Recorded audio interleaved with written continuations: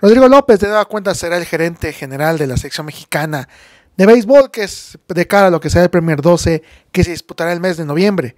Platicamos con el ex pelotero, que sin duda platicamos toques finos de cómo es que se da la negociación con los peloteros de grandes ligas, de cómo ha sido el trabajo que se ha servido mucho entre ambas ligas de Liga Mexicana de Béisbol y Liga Mexicana del Pacífico, y también destacó la mentalidad que aporta Benjamín Gil a ser manager de esta selección. Platicamos con Rodrigo López, que sin duda está entusiasmado y que esperan tener a cuenta tener muy buenos resultados, como lo tuvieron en el Clásico Mundial de Béisbol, en busca ahí en el Premier 12, y que será en noviembre. Rodrigo, pues, en este proceso que has vivido el Clásico Mundial y todo, ¿qué es lo más difícil de negociar con grandes ligas? ¿Cómo sería el proceso de las para Sí, pues lo más difícil es que les den permiso, ¿no? Cada equipo cuida los intereses, es una inversión cada uno de los jugadores y pues son activos que tienen, entonces creo que sí presentarles una perspectiva de cómo se va a mantener al jugador, a quienes tenemos ahí para que los cuiden físicamente, pues es la parte a lo mejor difícil para que les den ese permiso, aunque en el Clásico Mundial, por ejemplo, era una situación un poquito diferente, pero que la mayoría eh, aceptaron y pues pudimos jugar con los, eh, pudimos este, contar con esos jugadores que pues ahora son estrellas en grandes ligas. Platícanos, ¿cómo es el, proceso?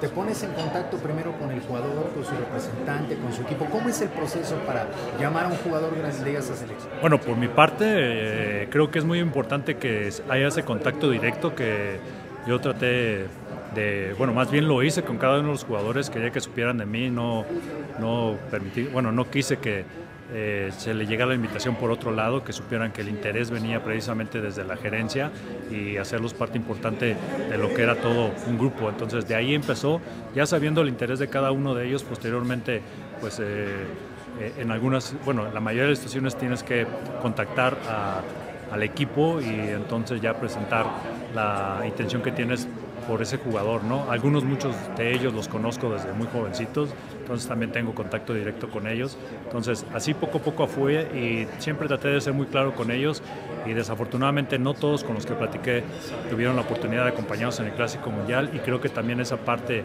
eh, para mí era muy importante. Si les di la buena noticia, también les tenía que saber la que no era tan buena, pero siempre dando la cara, ¿no?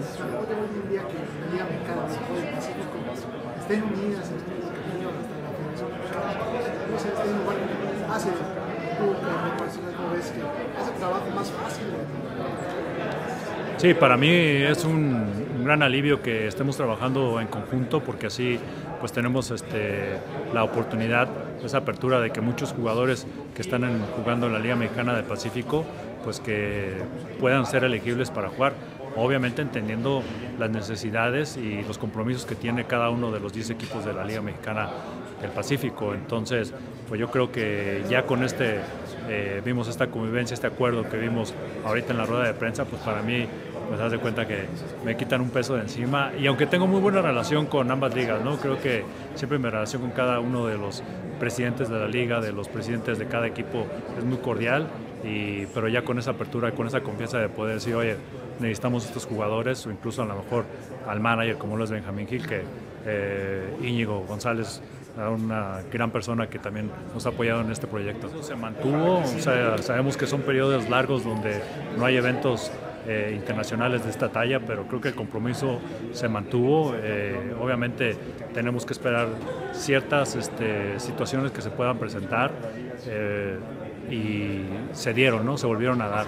Entonces, pues ya dándole continuidad a lo que se vino haciendo en el clásico del 2023, pues yo creo que es un gran aliciente, o sea, más que un, una presión, yo creo que el haber llegado hasta donde hemos llegado, pues es una sed de seguir adelante y yo creo que eso mucho lo refleja Benjamín Gil, al igual que nos lo transmite y todo el grupo de la gerencia con Mariana Patraca, con Jorge Campillo con tu servidor, pues yo creo que nos da ese ánimo de seguir adelante y esa, y esa hambre ¿no? de poder un día, y esperemos que sea en este torneo, llegar con una medalla de oro o con un primer lugar en el béisbol, en el béisbol a nivel mundial.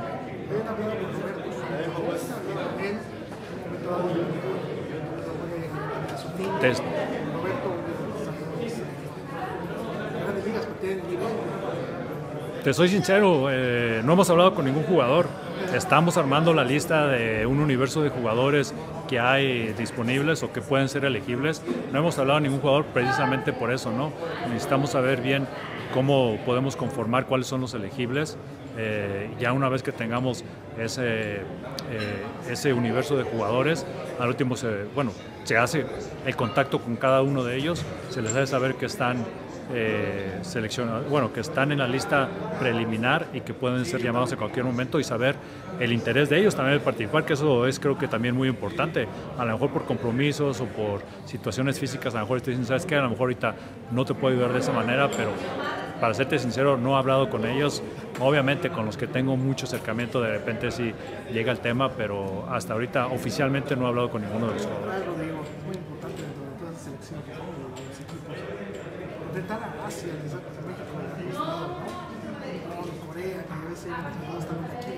a nivel América ya puede. ¿Qué pasa en ese? El clásico mundial estuvo a 3 a 2. El primer 12 pasado, igual, fue los de con Corea y Japón. Equipos. Pues mira, no sé qué pasó en los eh, en los otros clásicos. Aquí creo que todo nos funcionó, nos iba funcionando de la mejor, de la mejor manera. Llegamos con una buena ventaja, bueno, con una ventaja, yo creo, este, decente para poder llegar.